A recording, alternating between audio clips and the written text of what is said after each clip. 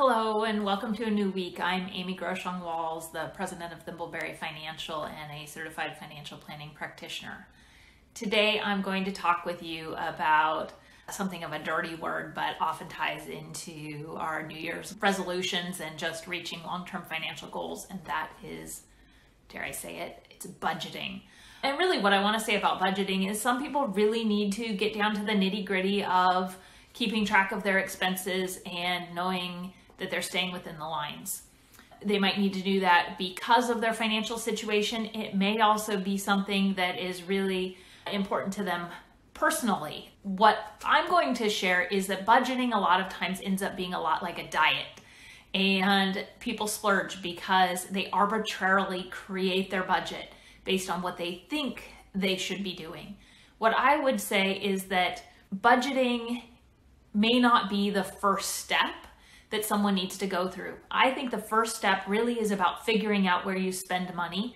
This doesn't just mean looking at the month and what you spend because lots of extra expenses creep in there over the course of the year. Most of our gift spending tends to happen at one time during the year. Travel tends to happen at one or two times during the year.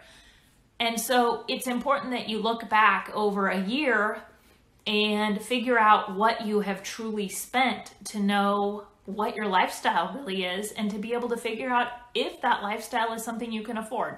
It's actually an exercise we go through with all of our clients before we really get into our work together because we want them to know what they're spending because they now have the power to make decisions about what they want to change if in fact they need to save more or they decide something else is more important to them than something they're doing now. So I wanted to talk high level on this topic today and Later in the week, I'll be back to talk about strategies you might use because once you have that list of what you are currently spending and you're trying to make decisions about what's reasonable for you, what's really important is finding ways to put boundaries on yourself so you're not into the nitty gritty every week or every month as to did you overspend or underspend and where are you.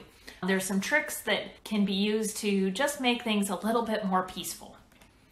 So I hope this has been interesting for you. If there are topics that you would like me to talk about in the future, please go ahead and leave us a message in the comments or get in touch with me over our website. And if you want to talk more, please feel free to reach out to my office either on the phone or via our website. It'll be in the comments below. And I look forward to talking with you in a few days. Thanks a lot.